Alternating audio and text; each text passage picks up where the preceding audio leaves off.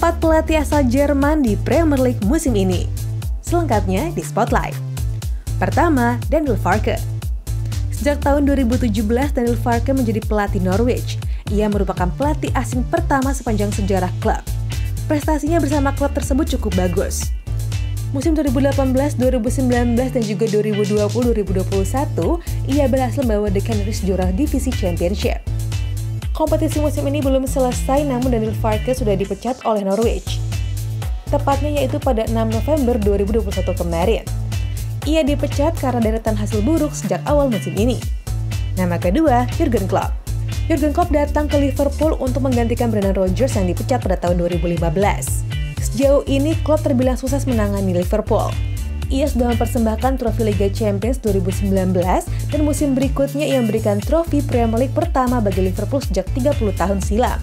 Total sejauh ini ia sudah mengoleksi 4 trofi bersama Liverpool. Nama ketiga, Thomas Tuchel. Awal tahun 2021, Thomas Tuchel ditunjuk Chelsea sebagai pengganti Frank Lampard yang dipecat. Baru bergabung, ia langsung bisa memberikan dampak instan bagi The Blues. Tak butuh waktu lama untuk dirinya mempersembahkan trofi untuk Chelsea. Musim lalu, ia berhasil membawa Chelsea sebagai pemenang Liga Champions dan juga Piala Super Eropa. Dan nama keempat, Rolf Rangnick. Rolf Rangnick menjadi pelatih asal Jerman terbaru yang menangani klub Premier League. Belum lama ini, ia ditunjuk sebagai pelatih Inter Manchester United. Ia akan menjadi pelatih MU hingga akhir musim ini. Setelah itu, nantinya ia akan menjadi penasihat klub selama dua tahun ke depan.